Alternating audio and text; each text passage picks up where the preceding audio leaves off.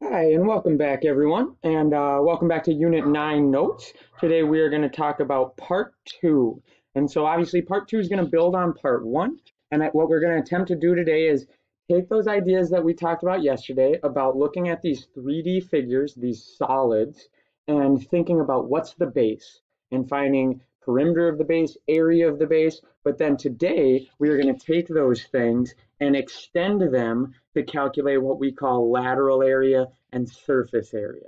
And so lateral area and surface area are different measurements that we use to describe these 3D figures and the space that they take up. Um, and this is just one way to do that. And again, it builds on what we started yesterday. And so let's take what we did yesterday, let's review kind of that thing, and then let's take it into the main component here of part two. And so the first thing we need to understand is what kind of shapes are we working with? What do we call them? And what characteristics do these shapes have? So the first thing I want to write, and I'm going to do this at the top of our notes, is I want to define prism real quick. So we're going to work with things today called prisms. You can see the on the learning target, target 25, the bullet point says surface area of prisms and cylinders.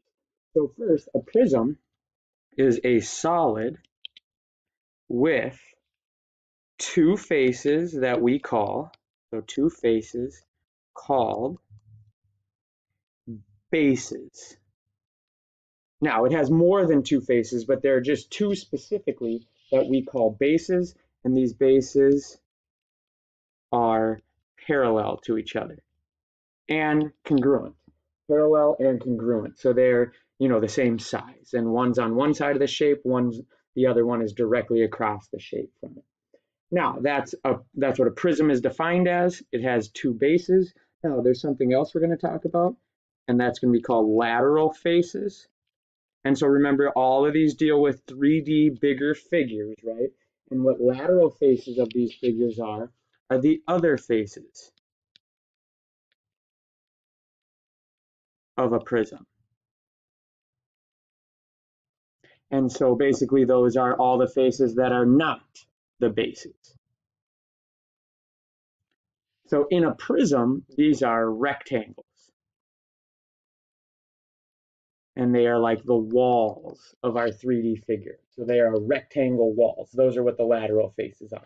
And then the other faces, the two of them, they can be any shape, rectangle, triangle, circle, whatever, and those are considered bases.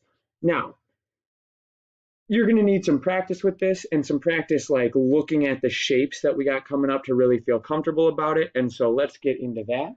Um, right before we do that, let's get a few formulas here though. So again, what we are trying to figure out today is surface area of prisms and cylinders. That's going to involve calculating the lateral area first. So the lateral area is the area of the faces that are not bases. And then our surface area is we take that lateral area and add the bases to it. And so to find the lateral area, it's going to be perimeter of the base times height of our object. And so, um, again, lateral area is the sum of the areas of the lateral faces. So not the bases again. And one more time, that formula is lateral area equals perimeter of the base times height of the prism. So let's write that down. P equals perimeter of base. And H equals height of the prism. So if we know those two things, the distance around the bottom of the shape and the height of the entire solid, we can figure out the lateral area. And then our surface area, the surface area is sum of the areas of all faces. Basically what we're going to do is we are going to take, so our surface area will equal what our lateral area was plus two of our bases. So LA is lateral area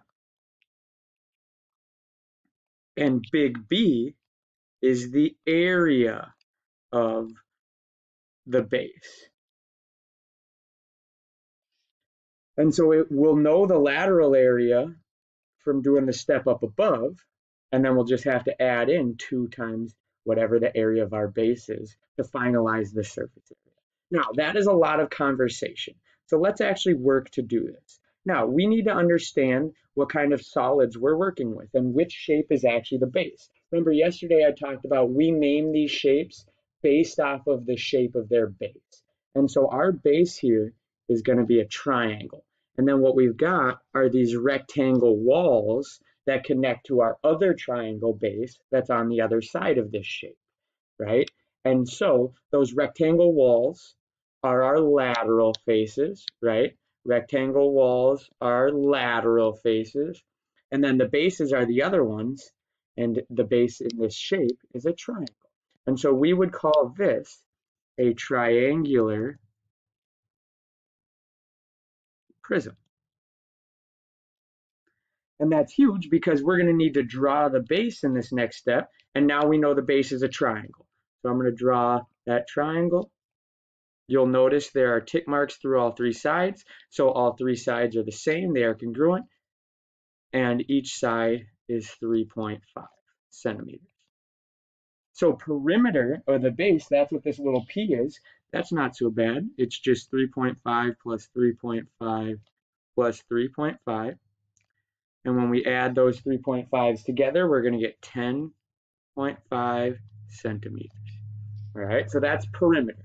Now remember, big B is area of the base. And this is going to change depending on what our base is. So we can tell our base right now is a triangle. So area of a triangle is going to be base times height divided by 2. Now our base is 3.5. What we don't have in this picture is our height. Remember, this is our height right here. And so we need to solve for that. And as always, when we draw that in, it creates a right triangle and half of our triangle, and then it cuts that bottom base in half. So 3.5 divided by 2 is 1.75. So each half here is 1.75. And so then we can find h by working with this right triangle here. And h squared plus 1.75 squared is going to equal 3.5 squared. And so let's finish all this out. If we square 1.75, we're going to get roughly 3.06. And 3.5 squared is 12.25. And so now we want to subtract 3.06 from both sides, and we'll get that h squared equals um, 9.2 roughly. So then to finish this off and actually get our height, we'll take the square root and we will see that h equals roughly 3.03. So that's our height. Now remember what we found that so that we could find the area of our base, so the area of this triangle. So the triangle base again is 3.5. So the area of this triangle is going to be 3.5 times our height, which we just found, which is 3.03 and then we divide that by 2. And 3.5 times 3.03 divided by 2 is about 5.3. And then area is um, square units, right? So centimeters squared. So we've got our perimeter of our base and the area of our base. Now remember, this is a bigger problem today. We need to use these things now to find lateral area and surface area. So, right, we use perimeter of the base to find lateral area. And then once we have lateral area, we're good, and we're going to use that to find surface area along with big B, which is area of our base. Lateral area, right? Lateral area is perimeter times height. Now, perimeter we solve for, right? Perimeter of base, that's 10.5. So this is going to be 10.5 times however high or however tall this prism is. Now let's look back at our prism. And I want you to look at this 21 centimeters. That is what's considered the height of the prism. It's the distance of the um, rectangular walls that are connecting our two bases. So see how this side connects one of our triangle bases to the other triangle base? That's what the height of a prism is. And so that's the height we want to plug in for our lateral area. Perimeter was 10.5. We found that by adding all the 3.5s together around our triangle. and then the height of the prism is 21. So 10.5 times 21 is 220.5 centimeters squared. And now that is our lateral area. So perfect. And now we're going to use that in the next piece to find surface area, right? Because now we're working with this equation right here.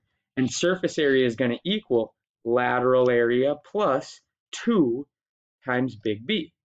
Well, we just found lateral area, so that's 220.5, and then plus 2, and then remember we solve for big B over here.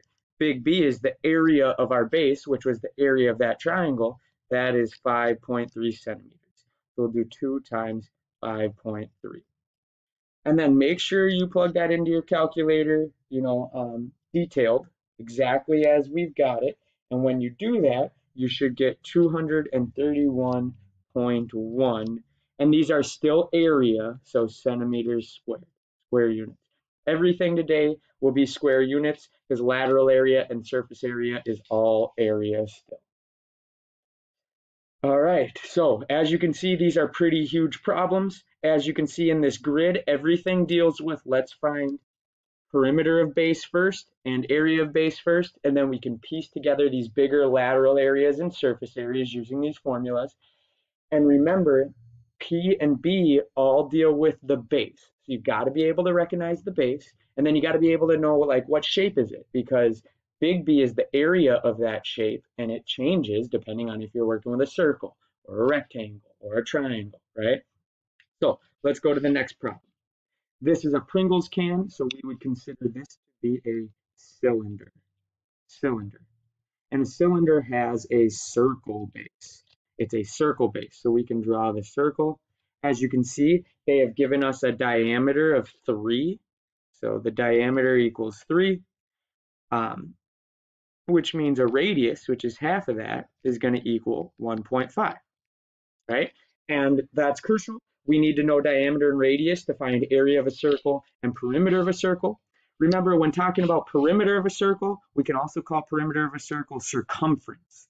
And that has a formula. It is just pi times diameter. And so our diameter, remember, was 3. So our circumference, or aka perimeter, will be pi times 3 which as an exact uh, answer is just 3 pi, and this would be inches, right? 3 pi inches, or if you throw 3 pi into your calculator, you will get roughly 9.4 inches when rounded. And so these are our perimeter. This is the distance around our circle, which is our base for a cylinder, right?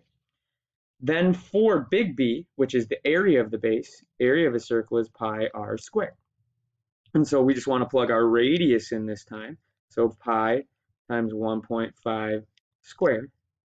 And when we throw that into our calculator, this I'll do this one with you. Pi times 1.5 squared is going to be second pi parentheses 1.5, close the parentheses and square it. We get 7.1 roughly. 7.1 when we round.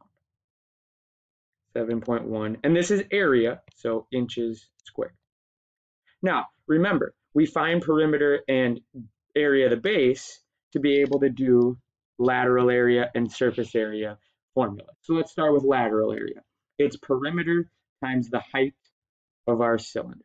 So perimeter times height. We just found the perimeter. It's 9.4 We'll do 9.4. And then the height of our prism, remember the height is the distance of the side that connects our two bases. So that is this 9. So 9.4 times 9. And when we type that into our calculator, we should get roughly 84.8 inches squared. And that is our lateral area. And then remember for surface area, it is just lateral area plus 2 times the area of our base. So our lateral area, so lateral area plus 2 big B. Our lateral area we already got, that is 84.8. And then plus 2B, remember we just found big B over here, that's 7.1. So plus 2 times 7.1. And when we type that into our calculator, we should get about 99.0 inches squared. And that's all